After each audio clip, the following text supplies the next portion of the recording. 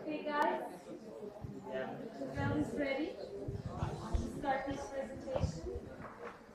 So let's start. Okay, I try to keep track of my time.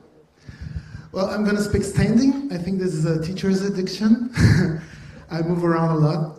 Um, my name is Rafael. I'm from Universidade Federal de São João del Rei in Brazil. It's a small city in the countryside of Brazil. And I'm talking about deconstructing micro-utopias. Uh, I like to take us back to the concept of utopia that comes from Thomas More. He's a British guy from the 16th century, and he's mostly talking about an island, a closed island, uh, where most of the systems are based on economy, economy and control. So um, I'm not so sure that this is a good concept for us to use, but I'm going to start from it. Um, and I like the citation that both good and evil flows from the prince over a whole nation. So you concentrate the power in one person or one entity, it's very like, likely that things will go wrong. um, and I want to talk as much as a theoretical framework, but I wanted to reflect some somehow in everyday practice. And when you start thinking about utopia, you can think about the utopia, the, the, the U meaning no place, so it's deterritorialized, uh, or the good place. But the thing is, the good place cannot be attained. Uh, it's very distant from us. Uh, this is why Thomas More made Utopian Island, so it can be reached by the outsiders. And it's a concept that's uh, based on the idea of time. I know utopia is timeless, it's supposed to go on forever, but this is one of the main aspects of it. And the thing is, time is a dominant aspect of our uh, current thought. we we think based on time, based on history. And I wanted to show how Massey, uh, Doreen Massey, feels about that. She's a geographer. Um, and the thing about time is, it has a directional flow. It goes from the beginning to end. Uh, it must build a consistent narrative. Those of you who are historians know about that. You have to tell a story when you're talking in uh, temporal uh, constructs. It's very resistant to change. And the thing is, utopia is like the end game. If you have a beginning, utopia is supposed to be the end of time when you reach the perfect society and you don't have to change anymore. So change is abolished from that. And Doreen Massey brings the concept of a spatial society as opposed to a, temporal society. And she defines a space as something that is defined by the relations, and it's not as absolute as time. And so it's a place of multiplicity and heterogeneity, so many things can happen at once. And the simultaneity of things is something very important in space. So uh, it's a place of diversity. Time, while time is a place of consistency, space is a place of diversity. And it's always processual.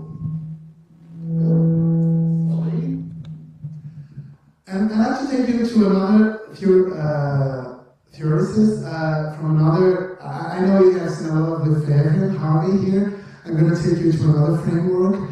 Flusser is a, design, theorist of uh, communication and design, and he likes to define objects, and I love his definition of, of objects. Objects are things that are in our way. So they are, uh, objects are obstacles that we have to surpass somehow. And we uh, create use objects to help us remove these objects that we find. And in creating that, we create obstacles to remove other obstacles. so we keep going on this circle. And the thing is, every object we create is embedded with intentions limits, which he calls program. So we program objects, we inform objects, we put ideas, thoughts, and ways of doing things into objects. And he separates two special types of objects, which are tools, which are objects of production, the objects that we use to change things and make us they work for us or have some economic value. And apparatus, which is a playful object, is an object of exploration. It's not about an object, uh, a production object. And what I would like to argue is that plants are objects as well. They are things that we build, uh, they're objects of design, and we embed them with our models and our theories, and we want uh, to make them work in a sense that works for us. And that's what I call the microtopias. The microtopias are these ideas that inspire plants, and they are usually very, very personal, even though sometimes they can be uh, shared by many people. But it usually excludes someone out of that. It's very uh, difficult to have consensual uh, consent uh, about what a utopia might, be, might look like. And I want to, so these are some of the planning models that we see. Uh, this is a Sao Paulo model. If you know Sao Paulo, you know that it looks nothing like the city itself. So it's a very idealized version that helps us to think about it, but it's very different from the actual reality of the city.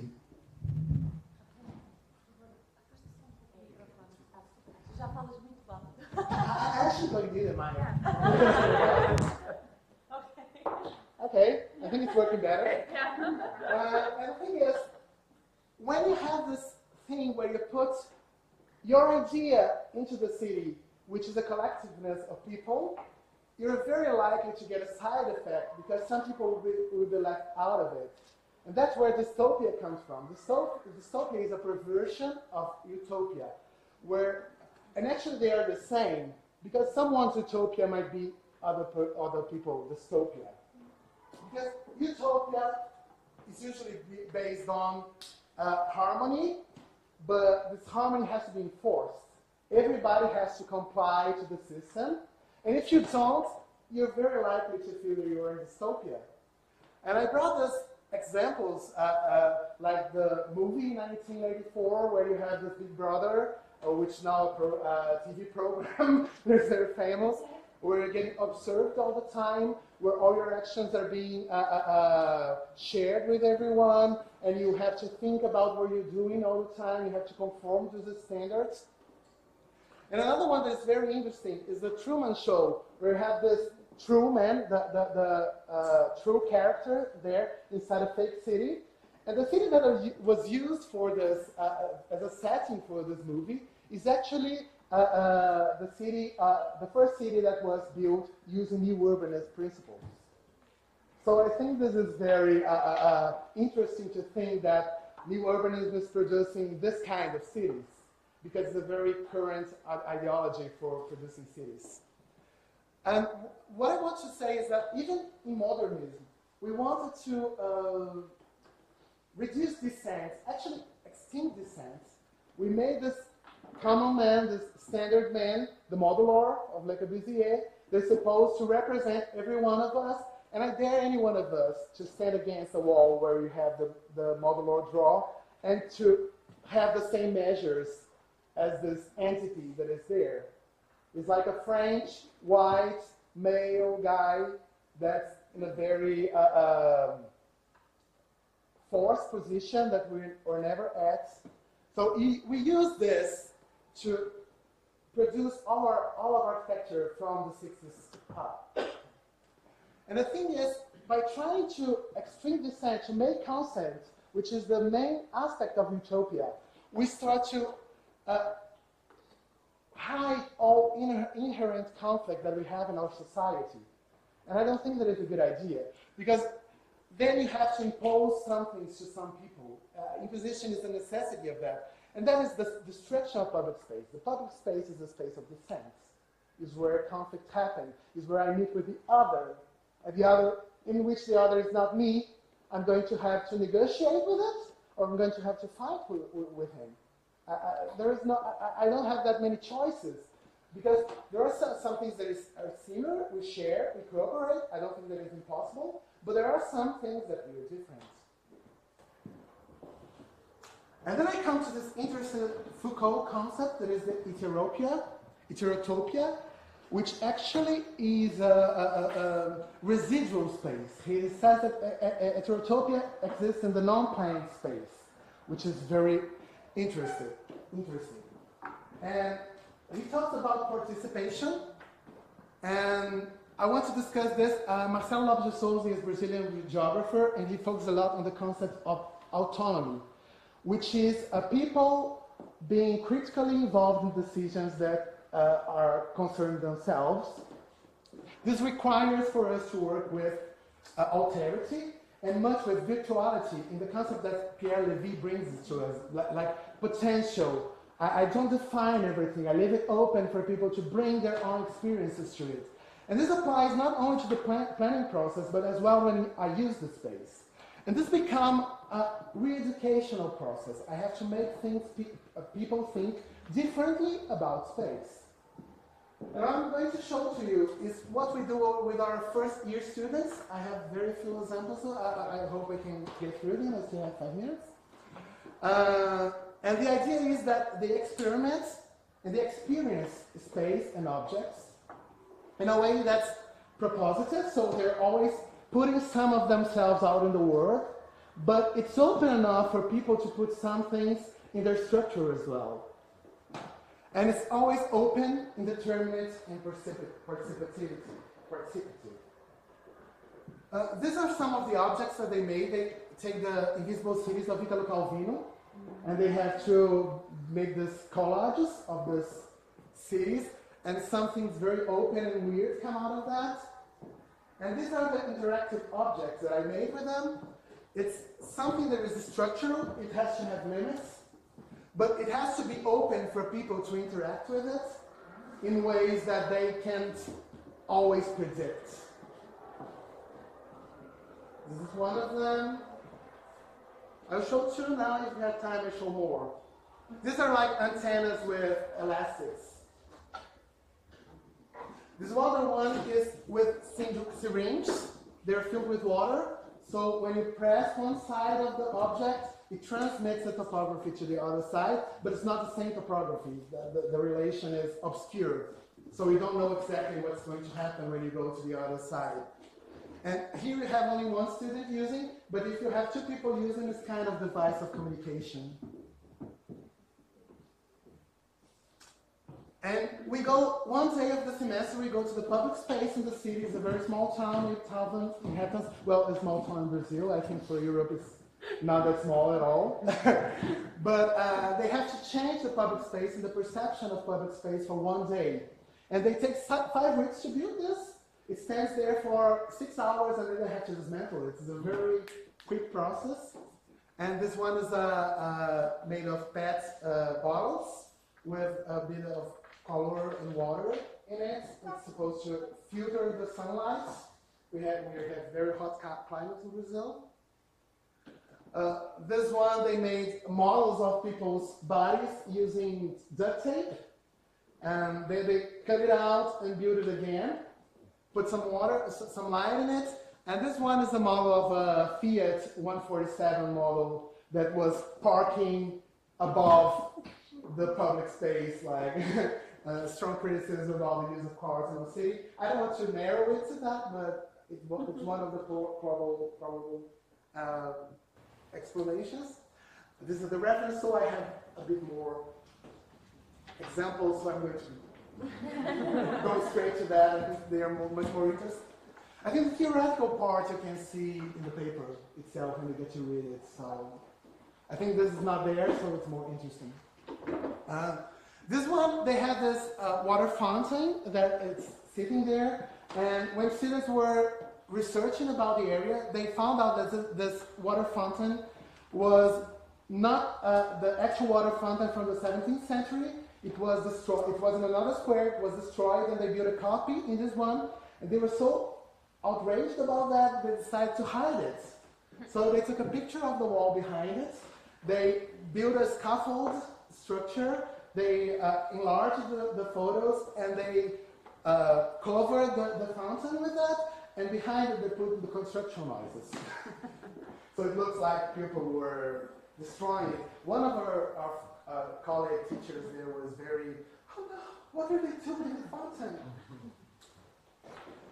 we sometimes build urban furniture. We sometimes bring uh, furniture or pieces of the, beauty the private beauty environment to the public space, and they always change the, the, the way that you think about them, like doors closing a square, and it's not closed at all because you can go around them, but uh, seeing them there makes you think about, well, are we privatizing uh, public space? And you have this very framed reference when you can see to the peephole of the, the doors. And here, just another two interactive objects, I think. Well, 30 seconds, I will just give you a quick peek of it. One's just uh, folding paper. And as it expands, you can mold it as you like it. And it starts very small, but it can grow really, really big and occupies a lot of space. And this other one, they, they did this weird device that you wear. And there is this uh, keyboard that you can manipulate. And what you see, you see this infinite uh, tunnel of light that you can change the lights as you're going. So you are moving through space and you have, your senses are kind of uh, thrown out from your movement. So I think that's it, guys. Uh, it's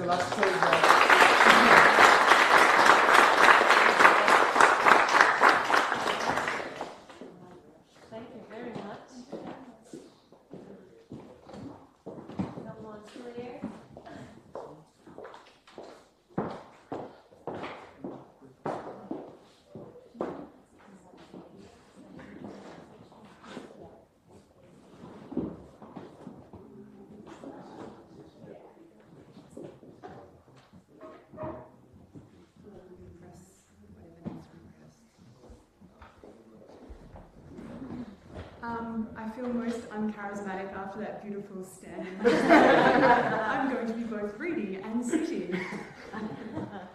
um, I wanted to start my presentation with this map here because I think this actually might be utopia. And I'm not sure if any of you have seen this before, um, but this is Australia prior to British invasion. So what you're looking at here is over 60, um, well we actually now think it might be um, 80,000 years of continuous culture um, on the continent of Australia of Aboriginal and Torres Strait Islanders. And the little colours that you're seeing are the divisions between over 200 language and cultural groups, many of which, of course, in just over 250 years have been completely wiped out. Um, so the project that I'm going to be talking about today uh, is located down south, and it's on the land of the Wurundjeri people of the Kulin Nation.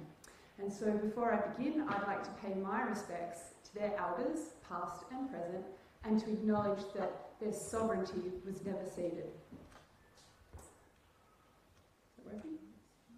Oh, there it is. Okay. The project that I'm going to talk to you about is called Section 32. It's one of three projects I've developed as part of a practice-led research PhD, which turn out are not that common in Europe, but are very common in Australia and New Zealand. Um, each of the projects, so my PhD is actually in the School of Art. Um, each of the projects focuses on a different Australian community to interrogate the impact of mobility systems on the social and spatial makeup of that community. The project um, begins with an artist, um, an artist residency, which is just a really fancy term for fieldwork, and then concludes in a site-specific artwork made from the experiencing of living in that community. Um, the artwork is then presented for free to local communities as a way of encouraging a local dialogue about the past, present and future and the types of urban environments we want to live in. I'm going to start this talk by discussing the community that I developed Section 32 for and what the artwork looked like. I'll then very quickly conclude my discussion by talking about what the artwork taught us about that community that we didn't already know. Okay. Um, hello, my name's Claire and I'm a futurist anthropologist.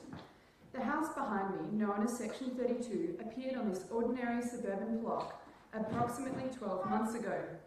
How and why the house has landed here remains a mystery. However, our research has revealed something absolutely remarkable. The house exists both here in 2017 and simultaneously in a year around the end of this century. We have conducted significant testing on the site and believe it is safe. However, we must warn you that the long-term effects of spending time in the future are of course undocumented. This is the speech that welcomed 500 audience members that visited Section 32 in groups, uh, um, in groups of 10 throughout its exhibition. So, despite Australia's vast scale and international image as a country of hardened outback folk avoiding a deadly array of venomous creatures and vicious animals, Australia is in fact one of the most urbanised countries in the world. 94% of our population resides in a series of cities that cling predominantly to our east coast. Our urbanisation is defined by suburbia, and our cities sprawl even more successfully than most North American metropolises. Melbourne, for example, hosts only 4.5 million people um, to Paris's 9 million, but we consume double the urban footprint. Founded in 1835, Melbourne's population growth has occurred in a series of big booms related to migration and resources. The most significant of these booms include the 1850 gold rush, the post-Second World War migration program from across, across Europe, and our current boom. Australia is currently um, the fastest growing country in the OECD, due largely to a significant skilled migration program. Due to this boom, um, boom, it's estimated that Melbourne will expand from 4.5 million to 10 million over the next 30 years, usurping Sydney and becoming the largest city in Australia. Of course, while this kind of increase is nothing like our near neighbours, Indonesia, Cambodia, China, and Vietnam, to name a few, it has still represented significant growing pains and an ongoing and necessary evaluation of the types of homes we build. Can the great Australian dream really continue to be a standalone house on a large block of land with a big backyard um, when our city reaches 10 million? In 2006, in collaboration with Knox City Council, so Australia has three tiers of government federal, state, and then your municipal government. Uh, so I'm working with the municipal government. I was given a house in the suburb of Boronia to live in and then produce a work for. Located 40 kilometres from the CBD, Boronia is on the eastern fringe of Melbourne. Established in the 70s, the suburb was converted from orchards into quarter acre suburban blocks throughout the 1970s and 80s. However, as our city again enters an era of rapid growth, it is once again being cannibalised by developers, transformed from a suburb defined by the standalone house to a mixed suburb of medium density units and townhouses, apartment blocks, and standalone homes. The most common Australian narrative is growing up in suburbia. However, interestingly, I grew up in a remote property in the country, so this move to suburbia represents the first time I'd experienced the Australian suburbs, However, importantly, the residency also involved a daily commute to and from my job in the central business district of around 50 minutes each way. 76% of Melburnians currently commute to work via car, um, taking on average of one hour to get to their work and home again. Post-Second World War uh, suburbs such as Boronia, due to their low density, very average public transport and distance from people's jobs, are Fordist suburbs. They're only made possible through the introduction, um, mass introduction of the automobile post the Second World War. As a consequence, my residency um, gave me the opportunity to see how, 40 years after the suburb's creation, the car was continuing to shape it, but also to get an insight into how new mobile technologies, such as the internet, smartphones, and drones, are impacting and shifting the social and spatial dynamics of suburbia. Um, there I am, commuting. Um, halfway through the residency, I brought on a uh, team of collaborators. Uh, so here we are in our costumes. Um, you've got a sound designer, Robert Jordan, um, and Brianna McNish, who's a director. We would also eventually be joined by a group of actors to execute the work. Um, we, we to, uh, so I'd been living in the house and experiencing it. I'd been reading quite a detailed diary, but of course also reading the history of Australian planning. So to collaborate with these guys, we covered our house with large sheets of butcher's paper and I started to tra transcribe that, that um, information so we could develop a plan of exactly what the experience of this work was going to be like.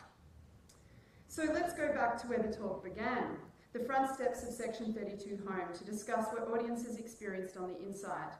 Section 32 used a science fiction narrative to build an image of the future. However, like any good sci-fi, its real focus was an analysis of the present. From the moment the door swung open, um, the suburban home began to speak. Welcome home, unrecognised occupant, the house announced in its friendly um, female voice, smoother than today's artificial intelligence like Siri, but still a little insincere in its overly friendly and matter of fact tone. Remember to keep your carbon in check. Check your carbon meters regularly, it concluded.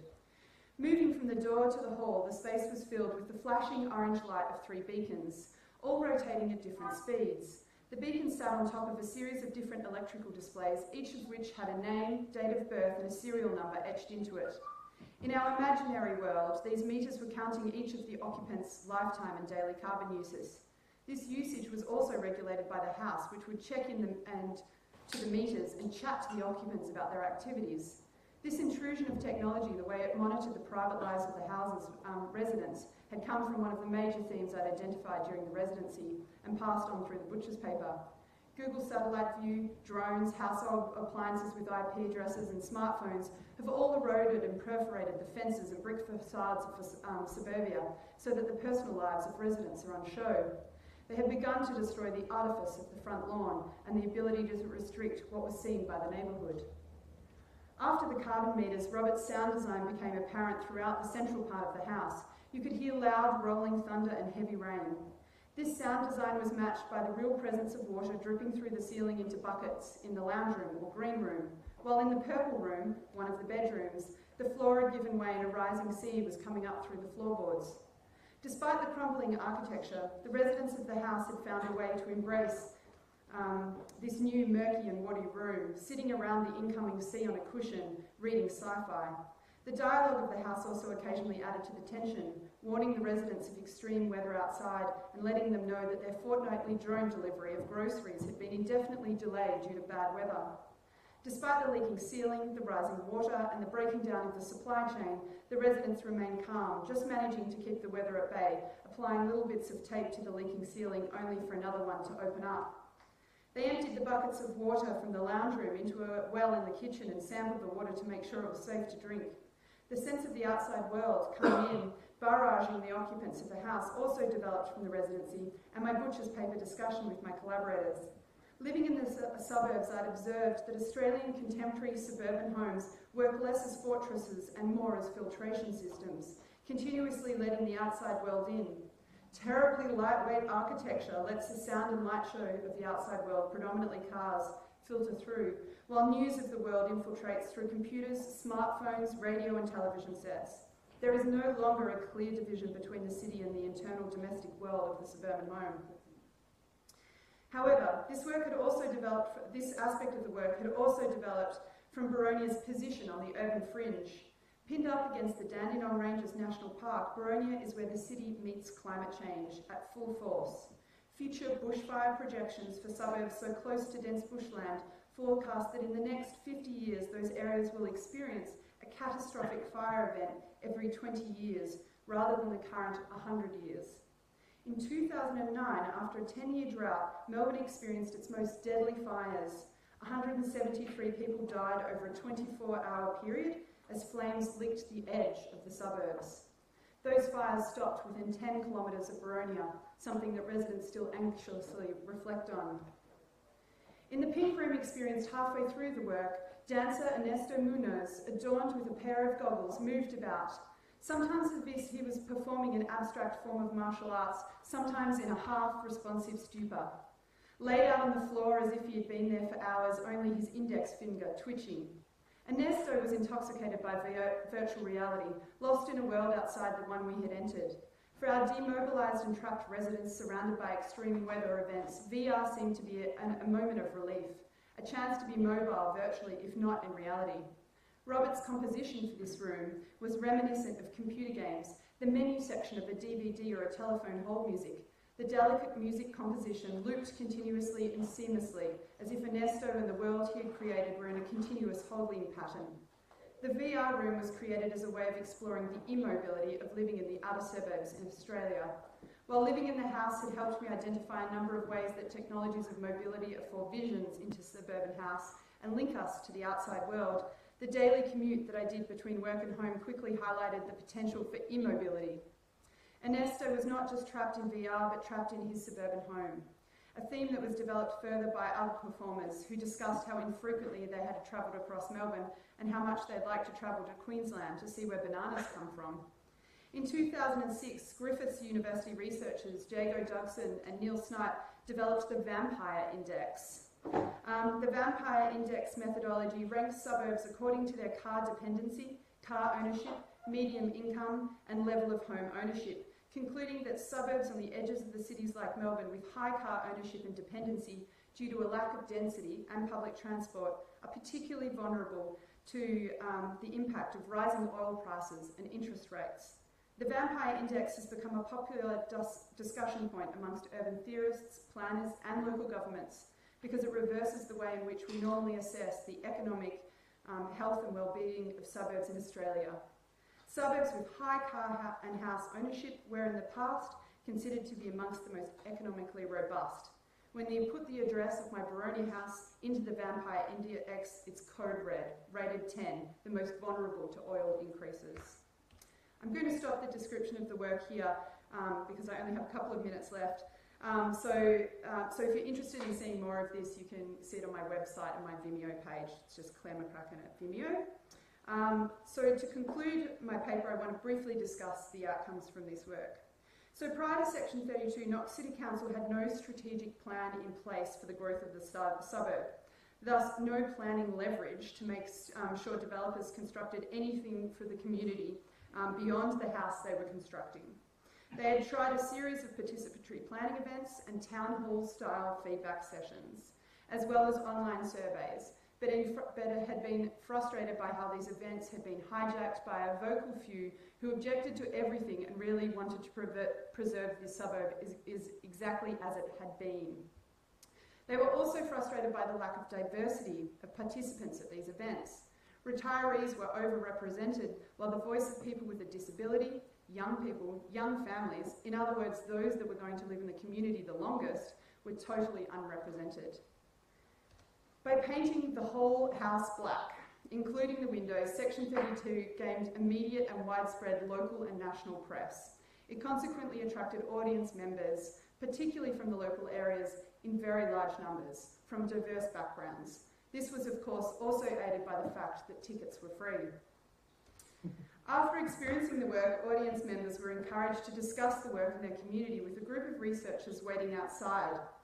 The outcomes of these discussions, perhaps because they came after a somewhat magical dystopian experience encouraging a dialogue about the future, were surprising in many ways. They demonstrated that despite a very vocal few, most people were unconcerned by their rapidly changing city. Um, most residents acknowledged that the city was getting bigger and that we had to fit people somewhere, and this current boom was in the context of many booms that Melbourne had experienced. They were excited about the diverse housing stock as it meant they could downsize and retire in their community, and that there was affordable housing suddenly finally available for their children. There was also a lot of discussion about the need to preserve the trees and bushland, despite the bushfire threat, and to move away from backyards to more com community facilities such as shared parklands, play equipment and community gardens. And finally, despite a federal government that has climate deniers in its ranks, and uh, here we have the Deputy uh, Prime Minister of Australia, who's actually just lost his job, which is fantastic, holding on to, holding on to a piece of coal like it's going to solve every problem in the world.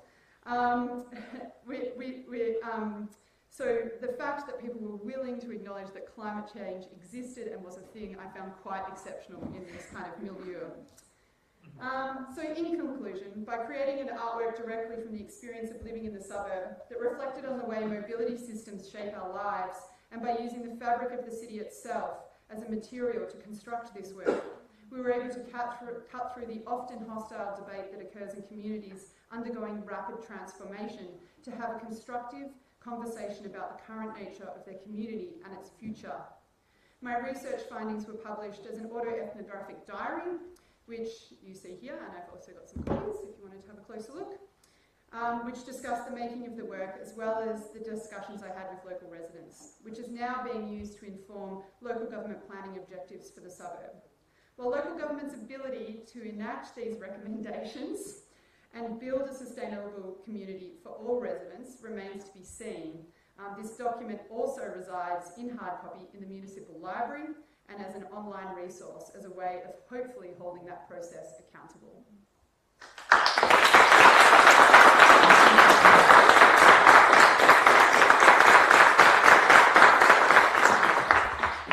Thank you so much. Now, Trump.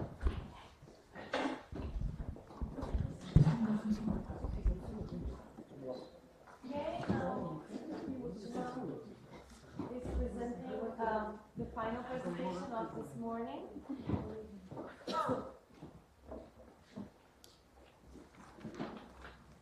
Hello, everybody. I'm also not going to use the microphone because I tend to project a lot, so I learned from It doesn't work very well. Also people learn from others, not their own people's mistakes. so, I have a very minimalistic PowerPoint. If my faculty finds out I haven't even put their logo on it, they're going to hate me even more than they already do. So don't tell them. If nobody's here from the Faculty of Architecture, anything that happens here, me on it, and uh, I'll deny anything. Any air condition that comes I'll deny everything. What I have here today, my name is Chaudel, so I'm a PhD candidate in the Faculty of Architecture. I love one of the things I do in, life and in academia is I always try to um, identify paradoxes and ironic situations. So I, the first thing I tell people about the Faculty of Architecture is you go to this really faraway place in Lisbon between Monsanto and this kind of dangerous neighborhood, and the way you recognize the Faculty of Architecture is you have one, two, three academic buildings. You look to identify which one is the ugliest, that's the Faculty of Architecture. I always, always make a point of saying it's one of those wonderful uh, ironies of life. Um, I'm giving a presentation today because normally what I do is I investigate municipal government. And whenever I'm in a social situation, I tell people what I do. They're like, oh, you're an urbanist. Okay, so what do I do? I, I study municipal government. I don't even finish the word government. As soon as I go, I see people's eyes rolling back. I know that's the most boring thing ever. And so today what I've done to you is something a little bit more speculative. Uh, usually I have to uh, I study laws, I study very boring uh, things. So what I've done here today is something that hopefully will be a little bit more entertaining than I usually do. When I ask people what they want in life, what their desires are, and then I ask them what they're most afraid in regards to their desires, most people will say, well, what I'm really afraid of is that I don't get what I want. But what I brought here to today is the idea that maybe what should sometimes in an urban planning specific, what we should really be afraid of is when we get what we want, but it turns out to result, it turns out to uh, provide results that are completely counter to what we um, actually expected here today. And so what, what I brought here to you today is an attempt to identify what I see as what I call the radio-centric obsession in urban utopias, and how through the power of municipal planning, zoning in specific, we can actually come to generate urban realities which become much more of a problem that needs to be solved as a part to a wish that we had uh, that we had fulfilled and that we're actually happy about. So this radio-centric obsession, and I'm going to give you plenty of examples, is is quite important because uh, you know Phil mentioned uh, you know uh, the utopia of, of, of More. He does mention the central figure of the prince, but most representations that you find of, of More's utopia is actually a lot more egalitarian than the ones that come after. You know, it's, it's been about a couple of centuries that every single time when people, whether they be urban planners or common folk alike, when they project an urban utopia, the, the, the definite axis that you seem to see all the time is that there's always a centerpiece. Now, what the centerpiece is changes, but the fact that there's always a centerpiece ends up being the common element they can um, they can always kind of. By the way, I'm Portuguese, so I always go on tangents. So if there's text there that I don't even mention, like it's just our style. I'm very sorry, you know. Always do that. You can read it. I might or I might uh, not. Um, so there's something we, which we call rational comprehensive planning, which nowadays, if you go into faculties which promote participatory planning, RCP becomes a kind of um, becomes an insult. So we, we speak of urban planners that see urban planning as a process through which you make a drawing, you try to implement a two-dimensional drawing on a four-dimensional, five-dimensional reality, and that is RCP, Rational Comprehensive Planning. It's become a term that is used to denote centralized, top-down, sometimes authoritarian, technocratic urban planning, and it's become um, it's become a very common critique. But everywhere in the world, when you go to urban planning departments, RCP takes about 90 to 95 percent of their angle anything they do. Unfortunately, uh, I'm going to give you a little bit of example of the kind of problems that we can have. This is um, one of my favorite ones. This is um, a map. Uh, it's a utopian vision, uh, again, that has a, centerpiece.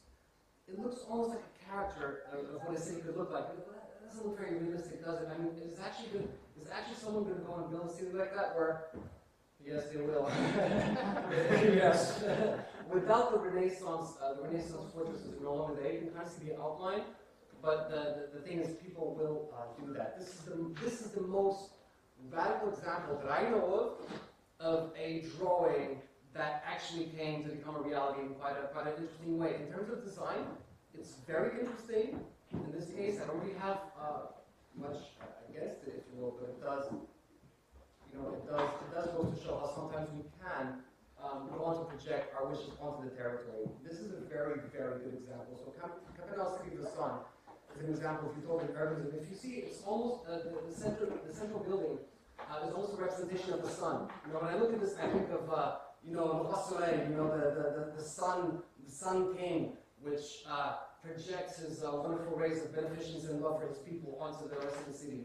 Um, another example, very, very centralized, uh, a radiocentric uh, depiction of what a city can and, and, look like. These different conceptions of the, of the ideal city are interesting because they do have a radiocentric nature, but at least here you see already a concept of polycentrism coming into being. But again, we do tend to see these radiocentric uh, designs coming back and back and back again, and so they tend to form the majority of how we see utopian cities. This is a very well known uh, Servitor uh, Howard's radiocentric utopia of the Garden City of Tomorrow. There's actually, I will mention an example of someone who just went, uh, who, who, plagiarized this uh, really quite and, and, I'll show you in a little bit. So this is another um, modern utopia which continue, continue to, to follow radiocentric design. This is actually, um, you know, it's quite interesting. There are cities which follow, if anyone knows Paris, it's the exact opposite of this. Paris is, is uh, a center where it's very lowly built, and in the this is a representation of the anti-Paris, you know? If you go to Paris, they built, uh, they have very uh, particular height restrictions. So if you go to Paris, you'll see six, seven-story buildings at most. And the most dense buildings happen to be in the periphery.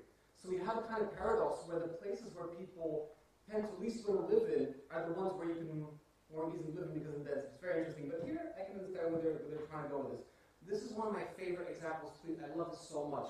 This is wonderful. This is, um, I don't know if anyone knows the um, the Venus Project, there was an alternative media uh, video which gained traction amongst, you could call it 100,000, it has millions of views, which was called the Zeitgeist, Zeitgeist uh, movie, and it went into like conspiracy theories, and then they formed an alliance with something called the Venus Project, and I love the Venus Project because whenever I go into places like the Faculty of Architecture, and I, I mention things like this, they always say, don't worry about those guys, they're absolutely, you know, these are crazy people that have no influence whatsoever, but what's funny is, these alternative media outlets happen to have a reach that is actually much higher than most academics. And this is a utopian vision of what a city would look like according to the Venus Project, and I'm not lying. That central building, according to their conception, will be a centralized computer control and verify everybody's economic actions to make sure they're viable. And it is, and call it utopia. I, I, will leave it at that, you know, I'll, I'll, leave it at that. This is another really good example. I don't know if you know uh, the Burning Man Festival. Mm -hmm. It actually started, uh, the Burning Man Festival started, so the, the, the legend goes, Friends on the Beach burning a statue. I think it's a, it's a British, like a British thing used to have called the Wicker Man, if I'm not mistaken, where they used to burn a kind of effigy. I think at one point they actually used to burn an actual live person back in the day. Either way, uh, the story goes that some friends uh, somewhere in America had a party on the beach and they burned an effigy. And it eventually developed into what we know today, the Burning Man. This is absolutely huge. And in the beginning, the Burning Man Festival actually had a very diffuse planning, okay? But now they've adopted against this radio-centric design, and at the center obviously is the Burning Man, which which uh, which they then burn. It's, it's love this example because the Burning Man started something very small, and it has now become, it's known now for becoming, having become the playground for uh, probably the most potent embryonic oligarchical force we have today, which are the Silicon Valley technocrats. Uh, so I love this. I love this as a representation of something which started as territorially democratic and infused to go on something which is incredibly hierarchical, radiocentric, just like the Renaissance uh, visions of utopia we, we, used to have. Europa was interesting because it does have a kind of circular aspect to it. But at least, at least, a little twist. Is where we're not going to make it into actual circles. Okay, we're going to make it to sort of vortex. So I, I, I, I do appreciate the, the slight touch of originality. Another quite interesting example of radiocentric planning is the city of Mecca. Okay, the Kaaba. If you ever see uh, Muslims praying anywhere in the world, you see them line up in a straight line because they're praying towards Mecca. But when they're actually in the Haram, when they're actually in Mecca, they actually make a circle, right? Because they pray towards one spot. The closer they get, they pray, they pray around a circle. And this is um, the ritual uh, where they um, circle the Kaaba seven times. But this is them moving around. When they stop to pray, you'll see them praying in a circle, all going towards the uh, Kaaba. By the way, the Kaaba is an arbitrarily chosen, we call it the Qibla. It's an arbitrarily chosen point that was chosen at a certain point for political reasons to be the place towards which Muslims pray. Many people don't know this, many Muslims don't know this. In the beginning, the primordial uh, Muslim community did not pray towards Mecca, they prayed towards Jerusalem. This is something that not a lot of people know. So this it, it was changed around the time when the Muslims were exiled in, in Medina.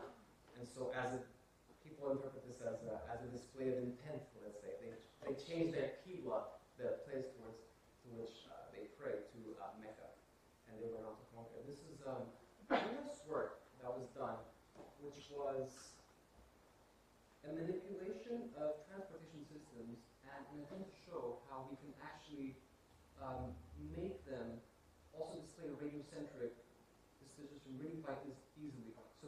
The Underground. Um, I've had to twist the New York subway. If you notice, I've had to I've had to turn it 90 degrees to fit onto the page but it's really, really quite easy to, uh, to change these systems so that they also adopt a radiocentric outline, the Paris Metro even more so. I'm gonna have to start, I'm gonna have to start being a little bit more quick. So, um, going into Le Corbusier, he's already spoken of, but perhaps what's most important about Corbusier is he had very strict zoning. And the reason why I'm speaking of this, and I'm gonna skip this, because I think I'm gonna, I'm gonna run out of time. And this is where I come to really my favorite examples of utopian visions, which are actually contained from Lisbon. Uh, there are cases when I see cities and the way that they're built almost as character, caricatures of themselves, right? So when people sit around and people say, what does, it, what does city look like? What should it look like? And then they actually sometimes, unfortunately, manage to, make their dream come true. As you'll see, one, one such example is, uh, is the city of Lisbon. As to a degree, we did manage. Um, I'm going to skip this if you guys don't mind, because I, and I think I'm, be running out of time, and I do want to spend a little bit of time uh, with the with the Lisbon uh, with the Lisbon case study. Uh, Lisbon is my city, it's where I live. A lot of what I do is studying what is happening in Lisbon. And what's what's striking about Lisbon is that when people come to Lisbon, they don't really get a full view, especially today, of what Lisbon actually is for most of Lisbon's inhabitants. You can say that about a large part of urban inhabitants all over the world, but what's really striking about Lisbon is how when you go to Mouraria, when you go to Alfama, when you go to these uh, wonderful, uh, which have now become places of attraction, you see the kind of urban design that's implemented. They're actually very, very strict lines which separate the center, the center of the city, which is very, um, sort of very, very classical, from a second periphery and a third periphery, which nobody who visits Lisbon ever goes to. Uh, and as we'll see, this was actually this was actually uh, implemented by the municipality uh, in the 60s, as we'll see. sorry, I'm skipping through slides because I really want to get to one particular one. So this is the Lisbon's first plan of urbanization, 1935. What you can see here is this is just a kind of color coding which doesn't really doesn't really reflect what the city became. But what you can see here already is a much more minute and detailed attempt to plan the center of the city as opposed to the periphery. So when what this what this I mean I could go I, I uh, for hours about this, but what it does show is that as, in my view, because we're cut off by a huge river, when I speak about the center of Lisbon, there are also little central hubs which spread across the coast for obvious reasons, right? A lot of people want to live in the coast, so if you if you start going west, eventually you get to Cascais, which is a center in and of itself, but the periphery all around, uh, let's say the municipality took from a very early age a much more callous approach to how they would plan the outside of the city, the periphery, as they did uh, the, the center. And this is how the virtually exclusive residential suburb was born. Okay? This is another master plan. What is interesting, I'm, I'm gonna have to stand up because basically what they did here is in 1948, what started appearing is you have two uh, main lines, okay? This is what I call uh. It's like a kind of moat, you know, like around the castles you have a moat. With, and so already this, they had uh, two different moats, which is um, a train line going here in center, which is a huge park, which makes a kind of division. And so you have the first periphery here and the second periphery there, and this is the center. Look how minute and closely planned the, the center is as opposed to the periphery. And what we'll see happening very quickly is you have a vision which is, it's kind of like a perversion of what Le Corbusier wanted. So it's, it's very strict zoning, which isn't actually consistent. So it's strict zoning, but for the periphery. Because when you go to the center, you have cultural hubs, you have all kinds of things in strict proximity. But as you approach periphery, we have these huge swathes of places that were intended to be only residential. And this is why I put that W.W. Jacobs uh, uh, quote in the beginning is to be very careful what you wish for because you might just get it. And in the case of Lisbon, from the master plan of 1966 onwards, this is what we got. So you have a huge, the purple, the purple area to the east, which became abandoned uh, or largely abandoned from the 80s, 90s onwards. This was meant to be an industrial area. And this, by the way, this is one of my favorite municipal master plans that I've ever seen because it is a caricature of what a city should be. If you look into the center, there, there's a commercial area, and everywhere else is just residential. So you have um, you have these yellow zones, which are kind of they define as cultural academic spaces, and everywhere else is just residential. It's just these swathes of, of, of houses. And for me, what I'm really, really, um, you know, looking back for me, the only tragedy is the extent to which the municipality actually managed to imprint this plan, this 1966 plan, onto the territory. And this is bringing us uh, huge problems as we'll, as, we'll, as we'll see. So this is the strategic plan. Again, very, okay, this is, this, this is wonderful. This is the 1994 uh, municipal master plan. So this is not a representation of what the city is. This is a representation of what they would have it be. Anyone who lives in Lisbon knows um, this diversity that's here uh, represented doesn't really come through when you start going from this first periphery onwards. So this is again the train line that I spoke to you of. Okay, this is the Simpla. This is a, as soon as you get to here, this uh, your kind of diversity that they're trying to represent doesn't come through. We have these huge swathes of residential areas, these huge parks which um, most people don't want to go to. So, for example, if you come to Lisbon and you, and you want to go to see a really nice park, you're going to go to these really small ones. So scale does matter, you know. But if you ask me where do you go, I'm not going to tell you to go to these parts. I'm going to tell you to go to Estrela. I'm going to tell you to go to uh, Príncipe Real. These really small, uh, kind of minutely planned, uh, tightly knit, um, different uh, uses that were that were codified into the center. This is how Lisbon stands today. This is a real representation of what Lisbon is, okay? Very, very tightly packed uh, places of reference that people go to on a daily basis, be for uh, their work, uh, especially if you're looking to have fun. You know, a lot of people, the whole of the city converges onto uh, the Bairro Alto, for example. If you've all been to, if you've been to Bairro Alto, actually from there a little bit, uh, the whole of the city converges from there. And then you have these uh, sometimes we call them pejoratively these dormitories. And if I were to make it, if this is just central Lisbon, this in, on a metropolitan scale spans out onto the southern uh, onto the southern bank, which is even worse, unfortunately. So they made an even uh, worse job of, um, of promoting. Um, so they made an even worse um, let's say, job of actually projecting to a city that is meant to be lived in, as opposed to a kind of uh, character of a city uh, that, that, that can be uh, used in equitable. And this is, um, I love this quote. I love this quote. Um, this is, I didn't put his name, this is a wonderful artist we have uh, called uh, João Seixas. There's a very strange tendency for people in Lisbon who deal with urbanism to be called João. There's João Seixas, there's João Fernando, João Cabral, there's too many, too many Joãos almost. I, shouldn't say that I'm called, I'm called as well. Hopefully I'll be one of the last, the last one coming in. I'll get some other uh, names coming in, but this is really nice. He, he speaks of dead-end cities with no end in sight. And this is a kind of attempt to uh, these endless, sprawling fields of residential areas which have grown outside of the city. But the reason why they're really important is because they're only, they only exist in relation to the center. right? So people live there, not because they want to live there, they live there because they want to live as close as they can to the, to the center. And this is, um,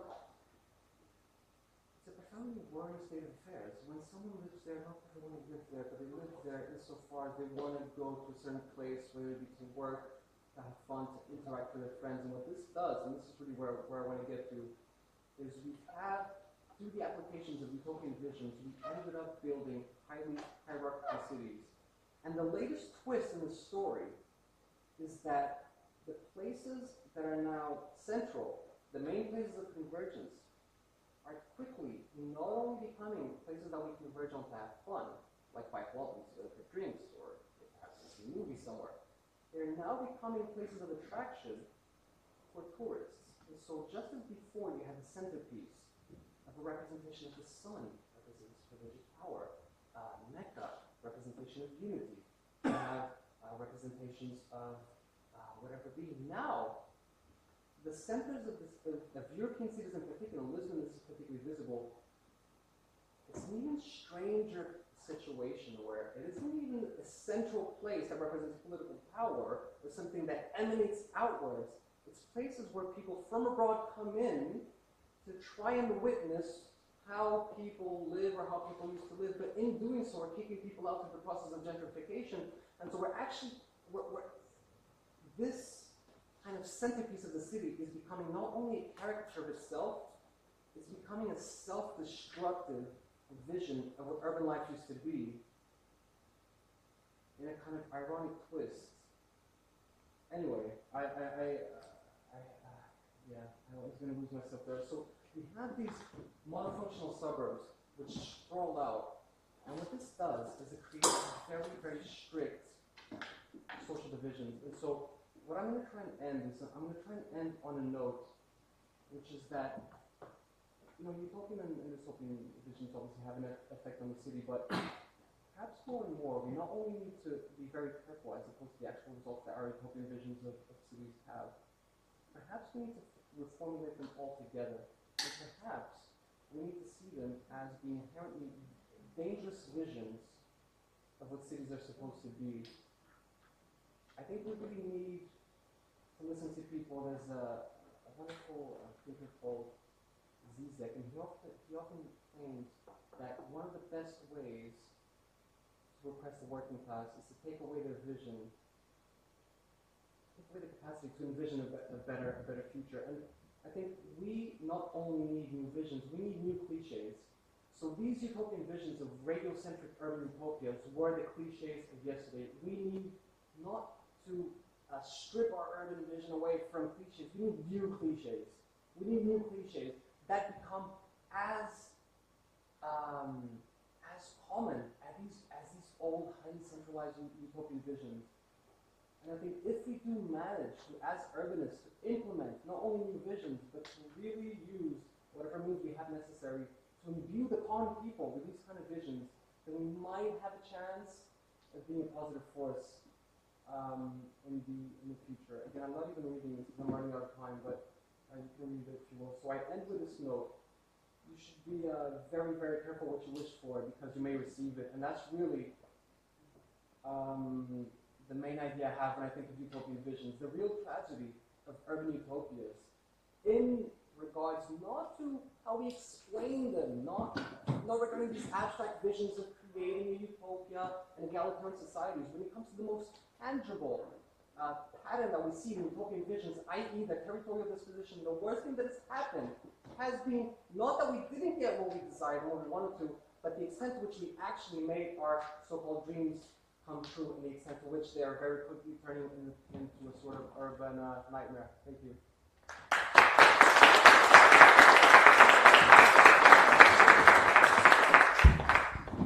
Thank you all. Those representations were very interesting and different.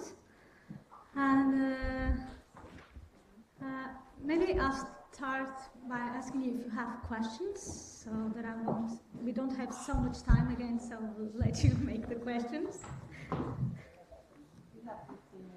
Yeah, but it's not so much. Um, I have two questions, one for Clare and one for Rafael. Mm-hmm. Mark Harris, um, do you think that artists involved in governments and companies and thinking about ecological change and economic change does really have an impact in in the way we think about cities? Can artists really contribute to to that? And um, and how is your experience in, in raising awareness for the government, let's say, and for Rafael? Thank you for starting with Thomas More. It is actually the question I wanted to ask at the previous panel, which was cut. Uh, for me, when I was uh, reading the book of More, it was, or this utopia was maybe not a social utopia for me, or was it a, bit a psychoanalytical representation of you want to exclude people uh, that you don't like, and this also happens in cities because we're afraid of the evil in ourselves. We don't accept other people because we don't accept parts of ourselves, and I think maybe this is why people who live in diverse cities have more healthy, are a bit more. I don't want to generalize, but they're used to seeing things they don't like, so they're more used to accepting parts of their own selves that they don't like. And then when you isolate everything formally that you don't like, you don't accept yourself, basically.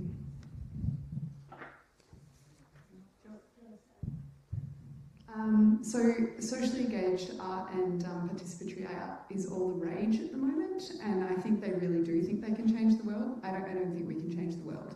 Um, I, I, I, don't think we have those kinds of powers. Um, but, uh, uh, and, and I used to be a participatory artist, but you'll notice uh, from that work that I just presented, I actually didn't work with community in the creation of it. They just participated in the exhibition, and that's actually what I've moved towards. Um, I, yeah, so I, we definitely can't change the world, but I think actually artists get away with being very provocative in a way that other disciplines don't. Um, and there's an expectation that we might be a little bit anarchist, we might be a little bit destructive, we might say things, um, and so you can use that leverage to get things on the public record. Um, but I think it's really important that artists also learn to um, write and communicate what they're doing because um, it's not enough just to do it in the community and leave. And I, I, I, that's why I put together this quite enormous document because you know, it's not my home. Um, and I was entrusted with a lot of information because I was living with those people, living beside them. Um, and so it, it, it's very important that there's some kind of lasting um, resonance after after that's over. And you know, I didn't have time to talk about it, but that house is you know has since been demolished and turned into medium density. So that's the only reason I was given it. It's part of it's part of what what is happening. So um, so yeah, I don't think we can change the world, but I think we can. We get away with being more provocative than perhaps other disciplines. Um, I think that disruption is a key word in that. I mean, um, if you see everything very tied up and, and you need to, to transform it into something, you need to disrupt it first, uh, create some critical thinking about it, and then you, maybe you can change it. I'm, I'm, not, I'm not so sure that uh, just by being in a diverse environment, you are more accepting. Because what I see in Brazil is not that. We live in a much more diverse environment than you live here in Europe. And what we see right now is that we are getting more and more divided. And the places where this division is stronger, like when you compare Sao Paulo and Rio, uh, Rio things are much more, well, in a way, mixed and in Sao Paulo, they did a very good job separating poor people from rich people. And you see that people in Sao Paulo are much more reactionary than overall, even though Rio seems to be in the worst shape right now. So I don't think that guarantees anything. I think uh, at some point you have to make people see things a bit different so you can make them uh, see other people for what they are. Uh, I think it's fun. disruption is fundamental for us to get this, okay, uh, there, there are other ways of living than the one that I live in. Uh, let me just ask a small question. Uh, one, one that uh, uh, it, it, was for you. What, and it's really interesting that you say that you changed from working with uh, with with people that live in the in a situated. You are doing situated practice, but you stop working with the people that live there. I don't like to say community because I don't know if they are communities or not. Maybe a community is constructed during a project. I believe that's a better uh, conception of it. But you decided to, to work with uh, like an archaeological, I don't know, way. It's that, isn't it? And uh, why did you change? Well, I do those kind of works, and I'm. It's just a personal question. I'm really interested. And then I have another one. Um, I changed for a number of reasons. Okay. Firstly, I was really tired. Yeah. And um, I think local government can quite regularly, municipal governments can quite regularly wheel you out as their social worker because you're much cheaper Yeah. than actually solving the problem. Um, and I didn't really want to be a part of that.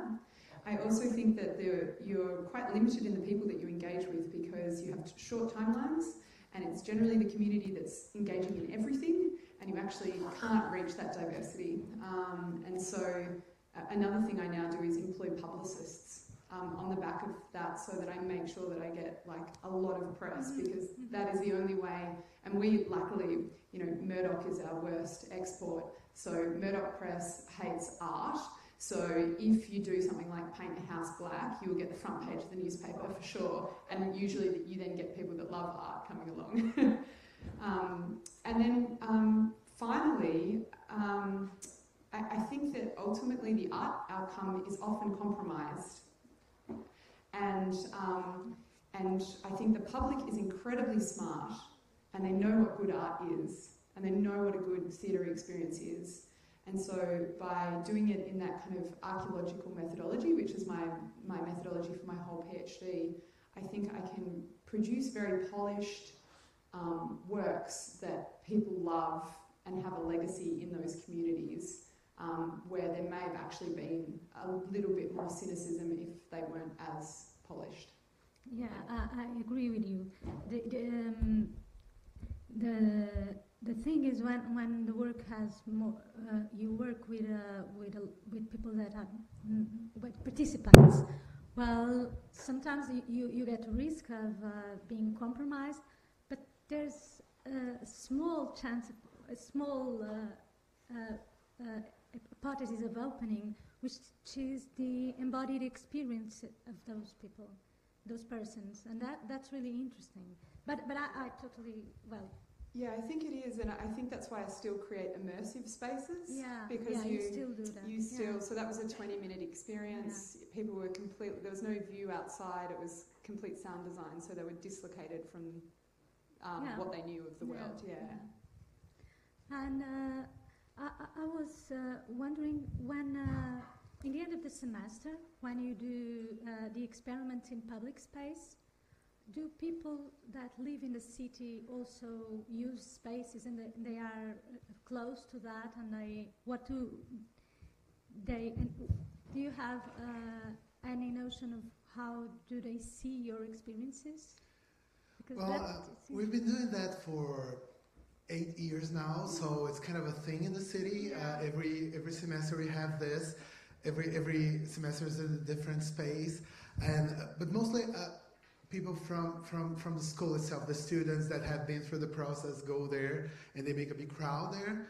And we have some people that pass by, and they're usually very puzzled by it. They think everything is very beautiful, but. Uh, I, I think uh, they don't really think about it uh, more than that it is a very beautiful thing, and they're usually hoping that this will actually change the space for um, in a more permanent way. Uh, we wish we could do that, but the thing is, uh, our main focus on that time is the students, is not the city. yeah yeah Uh, but I, I, I wish that some, at some point, maybe when you have all this critical mass built in the city, we'll be able to turn this into an, an extension project, and then we can do these things that are a bit more permanent. We're hoping to get there, but we're not there there yet. So it's just uh, an aesthetic experience that they have for a very short period, and I think it gets them th- them thinking, but not to the point that I would like them to. Thank you. Is there any more questions? Maybe just one very small well, question uh, for clarification. João, uh, you titled your presentation, um, I think something with electrical, right? Was wasn't it electrical? Yeah. Um... I tried to spare you um, as much as I could during the presentation. Uh, the more like. Um, like philosophical underlines of like I concentrate on the shape of utopian visions. Uh, there's a book by a, now made famous by a series of movies called Blade Runner, called "Do Androids uh, Dream of Electric Sheep?" Okay, and it was a science fiction novel that was basically an attempt to try and see whether this was like before we actually had AI. Okay, this guy was a genius called Philip K. Dick, and it was made into a Blade Runner. Okay, and the whole point of Blade Runner, Philip K. Dick's um, books were to basically try and see, first and foremost, if robots develop to a point where they reach consciousness, will they have parallel to us? Will, will they be parallel to us? Okay, and it ends up being a kind of way to try and ask them, ask the question. Okay, but regardless of whether robots can ever reach a true state of consciousness or humanity, what, what's really important in that question is that it gets us to reflect on what being a human being is, is in the first place. Okay, so in the actual paper, what I go into is how these utopian visions relate to, um, first of all, how do urbanists relate to citizens, okay? But most importantly, not so much trying to answer that question, but seeing how that question reveals what being an urbanist is in the first place. Do you know what I mean? And so it was a kind of tongue-in-cheek reference to these kind of um, to these questions, which actually get us to um, reflect on the initial object of, of, of, our study. And so, really, what I go into in the actual paper is what the simple, what the actual fact that um, these utopian visions are applied so consistently by urbanists, what, the, what that tells us about, about urbanists, but about the actual profession. Okay, do you know what I mean? So just like Philip K. Dick in his book goes into, okay, therefore, what does it mean to be a human being?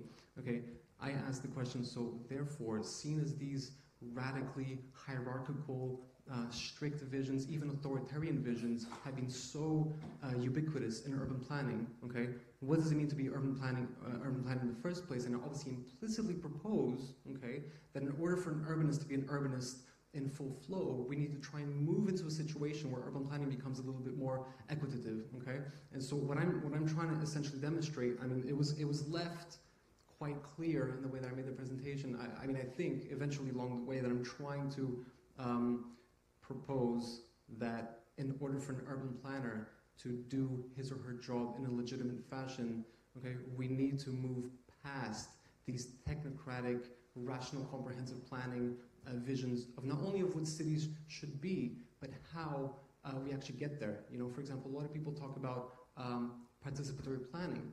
It's not enough. We need to talk about participatory planning and participatory management. Okay, do you know what I mean? So it was is an attempt to use these kind of images of the utopian city with a center just kind of radiates out, out into you. Okay, what I'm essentially trying to say is that if we want to live in a democratic society, to what extent do we not actually democratize key areas of our and one it's urban planning, of course, in, a, in an age where um, we are becoming urban species we will never have anything so much close as to a democratic society or an equitable society if we don't target very specific areas of our society. Finance could be one of them. Urban planning is definitely one of them as well. So, regards to the title, it's a tongue-in-cheek. It's a tongue-in-cheek reference to that I go into in the paper to Philip K. Dick. Sorry, I made that really long. Any other questions?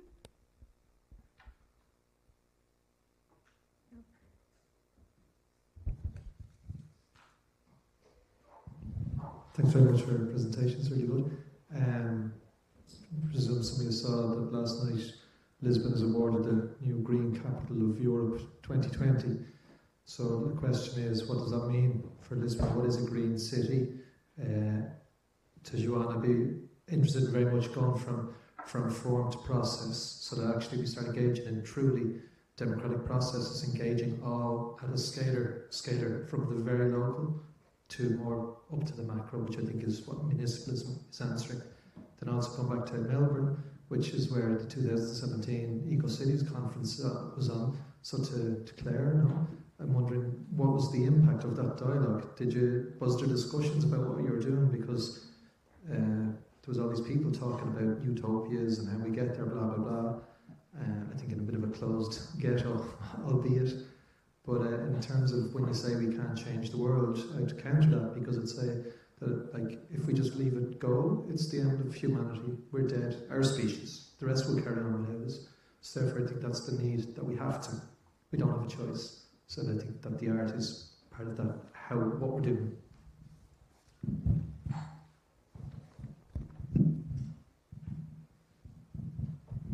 Yeah, sorry, I just meant single-handedly. Artists working to change the world. um, but actually, the conversations I had around planning with that local community outside the kind of really um, uh, often angry setting that um, planning finds themselves in were really positive. Uh, I, I, thought people were really generous about understanding that cities are um, rapidly changing things and um, that you don't necessarily permanently get to hold your turf and your aesthetic and your idea of what a good city is. And look, this might come because Melbourne is incredibly multicultural. I don't know. Um, not that there's not tensions with that, of course, but um, perhaps we are very used to difference and we're very used to rapid change because that's our, our history. Um, but then finally, I kind of just also think that Australians respond to dystopians. If I, dystopias, if I'd done a utopian vision, like I don't think anyone would have gone or been interested. um, I think we're hugely cynical about utopias because we're a colony and most of the people that have immigrated since then were either chucked there by the British because they didn't want them or uh, fled utopian visions across Europe and Asia um, where their families were killed. Thank you all. I think uh, we have to finish, but maybe we can continue to talk at lunch in a more informal way. So thank you everybody. It was really nice.